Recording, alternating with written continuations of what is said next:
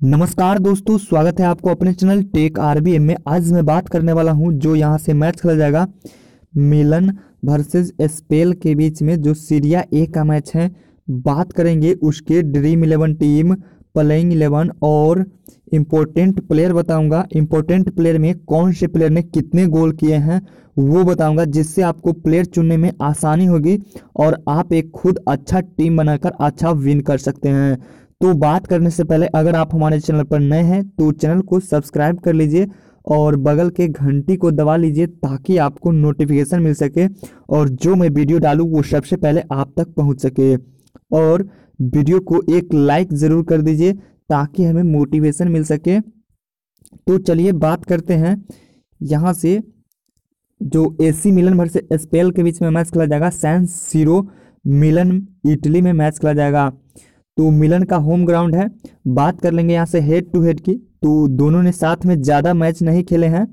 दोनों दोनों ने केवल दो ही मैच खेले हैं साथ में, क्योंकि यहाँ से स्पेल की टीम जो है, नया है, पहले से ही नहीं है, और इधर 2013 से खेल रही हैं तो यहाँ से दो ही मैच खेले हैं, और दोनों मैच मिलन ने जीते हैं।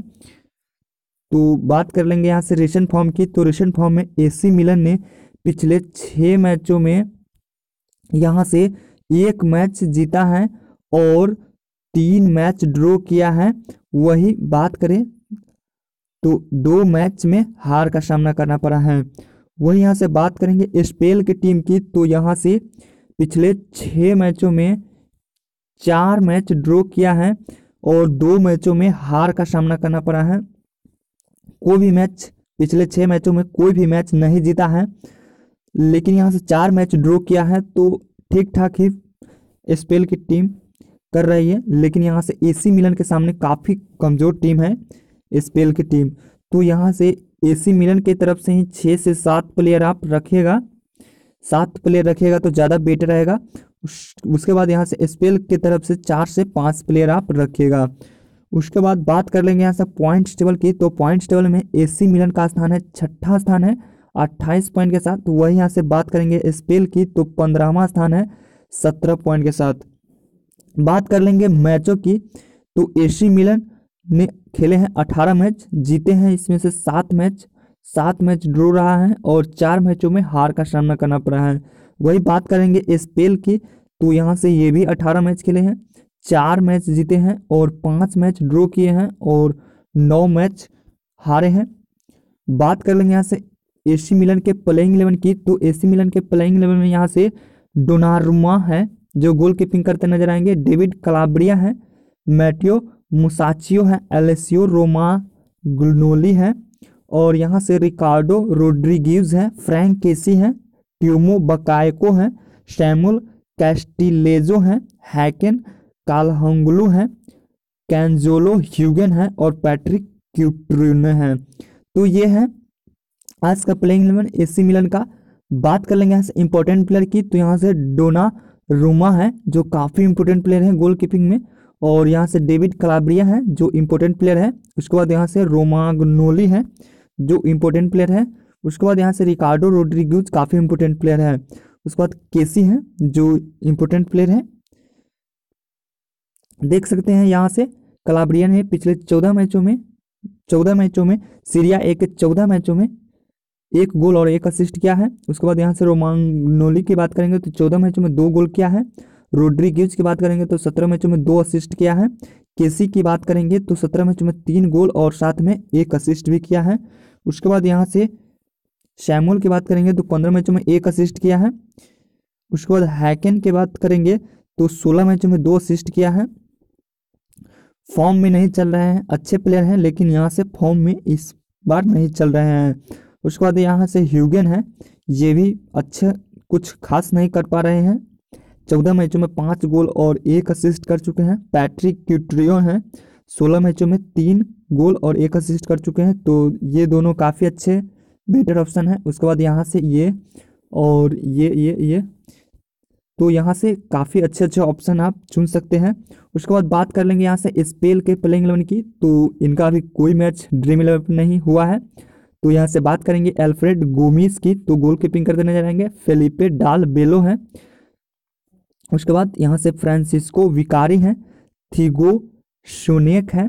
मिनुअल लजारी हैं। सिमोने मिसरोली हैं। और यहाँ से जैस्मिन कुर्टिक है। पैस्क्यूला सेचिटारेला है। और मोहम्मद फारेस है। एंद्रिया पाटगाना है। मिर्को एंड टेनिस्ची हैं। तो अब बात कर लेंगे इम्पोर्टेंट प्लेयर की। तो इम्पोर्टेंट प्लेयर में यहाँ से फिलिपे डाल बेले हैं, जो इम्पोर्टेंट प्लेयर हैं। सोलह मैचों में दो असिस्ट कर चुके हैं। यहाँ से फ्रांसिस विकारी, जो चौदह मैच खेले हैं, कुछ, कोई असिस्ट और कोई गोल नहीं किए हैं। उसके बाद थियोगो है, जो पंद्रह मैच खेले हैं, कोई गोल और कोई असिस्ट नहीं। लजारी हैं, जो अठारह मैचों में पाँच गोल असिस्ट कर चुके हैं। तो काफ़ी अच्छे प्लेयर हैं।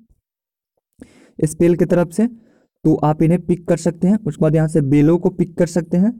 और यहाँ से मिसोरली का देख सकते हैं, चौदह सत्रह मैच खेले हैं, कोई गोल नहीं किए हैं। कुर्तिक हैं, जो बारह मैच खेले हैं, तीन गोल कर चुके हैं तो अच्छे प्लेयर हैं। और सबसे बेस्ट प्लेयर यहाँ से, बहुत अच्छे प्लेयर हैं। उसके बाद यहाँ से पैसक्यूले हैं, जो पंद्रह मैच खेले हैं, दो असिस्ट किए हैं इंपॉर्टेंट प्लेयर हैं। मोहम्मद फारिस हैं, सत्रह मैचों में एक असिस्ट किया है। उसके बाद यहाँ से एंद्रिया पटागना है, जो सत्रह मैचों में पाँच गोल किए हैं तो सबसे बेस्ट प्लेयर यहाँ से ये हैं और यहाँ से मिर्को अन टेनुची हैं, जो सोलह मैचों में तीन गोल कर चुके हैं। तो यहाँ से चार से पाँच प्लेयर काफ़ी इंपोर्टेंट है तो आप इन्हीं चार पाँच के साथ आप जा सकते हैं। तो अब ड्रीम इलेवन की टीम बनाएँगे। तो टीम बताने से पहले आप टेलीग्राम चैनल को ज्वाइन नहीं किए हैं तो टेलीग्राम चैनल को ज्वाइन कर लीजिए। और हाला प्ले और बिस्ट इलेवन का लिंक डिस्क्रिप्शन में है और टेलीग्राम का भी लिंक डिस्क्रिप्शन में है। आप वहाँ से ज्वाइन कर सकते हैं और हाला प्ले में भी सौ बोनस मिलेगा। ज्वाइन करने पर रेफर कोड यूज़ कीजिएगा तो और यहाँ से बिस्ट इलेवन से भी रेफर कोड यूज़ की यूज़ कीजिएगा तो यहाँ से भी सौ रुपया बोनस मिलेगा और उससे आप खेल सकते हैं। और चैनल को सब्सक्राइब कर लीजिए और वीडियो को एक लाइक ज़रूर कर दीजिए। तो चलिए बात करते हैं टीम की। तो यहाँ से एडिट करके देख लेते हैं। बात करेंगे गोलकीपर में। तो मैंने यहाँ से डोनार्मा को रखा है, जो काफ़ी बेस्ट ऑप्शन है। आप ग्रैंड लीग में गोमिस को भी ट्राई कर सकते हैं, लेकिन यहाँ से डोनार्मा काफ़ी बेस्ट ऑप्शन है। बात कर लेंगे डिफेंडर की। तो यहाँ से मैंने लिया है रोमाक नोली को लिया है, रिकार्डो रोड्रिग्यूज को लिया है, डेविड कलाब्रिया को लिया है।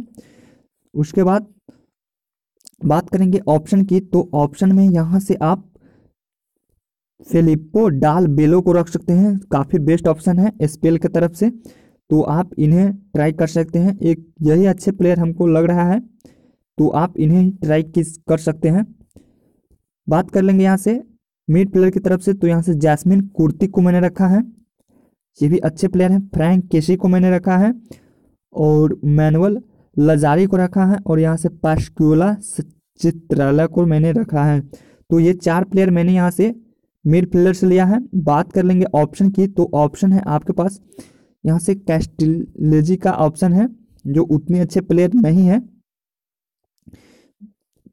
बकायको को भी आप रख सकते हैं, लेकिन ये भी कोई खास प्रदर्शन अभी तक नहीं किए हैं।